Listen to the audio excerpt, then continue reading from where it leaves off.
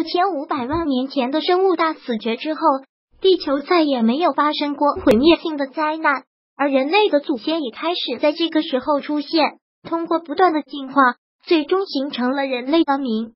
因此，人类从诞生到现在已经有数百万年的历史。虽然人类的历史有几百万年了，但其实大部分时间都是处在原始社会和封建社会。真正让人类文明开始转化为科技文明的时间，才不过三百年左右的时间。尤其是近五十年的科技，更是像坐上了火箭，一天一个样。因此，现代科技文明真正的兴起发展，才不过五十年左右。由此可见，人类的潜力是非常巨大的。世界上的四大文明古国的文明历史都在五千左右，要不是有三百年前开始的工业革命，根本不可能有现在的科技文明。按正常逻辑来说，三百年前的世界不可能有太先进的东西。可事实上，科学家在世界各地发现的一些文明遗迹中，却发现了现代化的东西，甚至超现代化的科技。我们知道的玛雅文明、亚特兰蒂斯文明。从发现的遗迹中及一些历史文献记载中去发现，他们的文明非常发达的。像玛雅文明，历史文献描述中，他们有可以飞行的机器，这不是现代的飞机吗？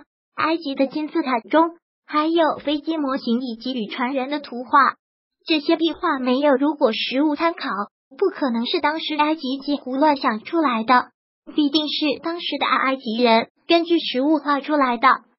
那么，这些古遗迹中发现的现代及超现代的东西，告诉我们一个真相：地球的历史不简单。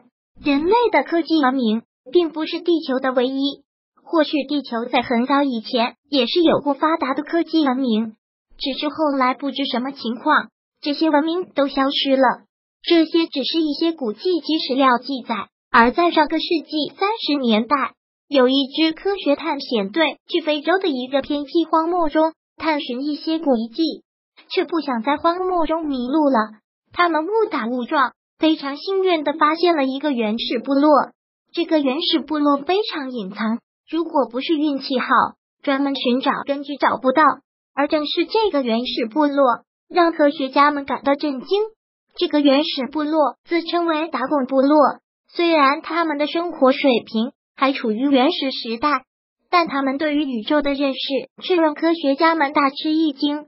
他们告诉科学家，距离地球近八点七亿光年的天狼星存着两颗卫星，其中有一颗名为波多罗卫星，是一颗体积极小但质量极重的星体。科学家感到非常惊讶，这都是现代科学通过天文望远镜才能观察到的数据。而这些原始部落的人们是怎么知道的？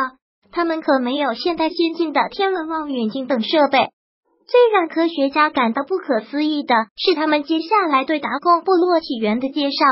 他们自称并不是地球人，他们的祖先是来自于天狼星的卫星波多罗。由于祖先的星球发生爆炸，被迫带着幸存下来的一部分波多罗星人乘坐飞船来到地球，因为地球是一颗生命星球，非常适合他们居住。因此，就在地球选择了一个地方定居下来。原始部落的人们还为科学家讲述了很多有关波多罗卫星的情况，还说了爆炸的时间。科学家们自然也知道，观测到过天狼星这个卫星的爆炸时间也基本一致。如果这个事情是真的，那说明地外文明是真实存在的，而且他们要比人类文明先进太多。可以从四点八光年外的天狼星来到地球，那文明的科技实力恐怕要甩地球几百条街。这次的科学家意外所得，也让科学家充满了担忧。这说明地球有可能早已进入其他文明的视线中。虽然人类一直在寻找外星文明，可是一无所获。但宇宙中的高级文明，他们的科技远超地球。探测宇宙的科技也不是我们可以相比的。或许地球早已被他们探查到，但地球文明等级太低，也吸引不了他们的兴趣。人类之所以现在还没有发现外星人，可能跟我们的探测能力有限有关。我们现在连太阳系还走不出去，而外星文明可能都在太阳系之外。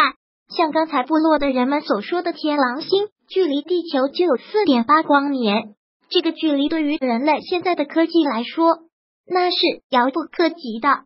即使那里有着很多的外星文明，我们也不知道。我们可以通过天文设备看到天狼星等行星，但比星球小的东西，距离太远，我们是看不到的。即使天狼星域外星文明的宇宙飞船飞来飞去。我们也是看不到的，因此想要直接探索宇宙、发现外星文明，最重要的还是提升科技，尤其是在速度方面有了重大突破才行。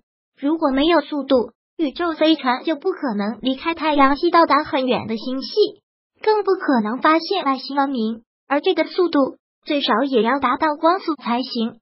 如果达贡部落所说的事情是真的，那么他们祖先的文明。必然是一个高级文明，他们宇宙飞船的速度可能已经达到了光速，否则是很难来到地球的。而光速对于现在的人类来说，太科幻也太遥远了，人类还需要更加努力才行。或许再过几百年、几千年，光速对于人类来说也能达到，到时我们也可以去天狼星看看，看看那里现在是否还有文明存在。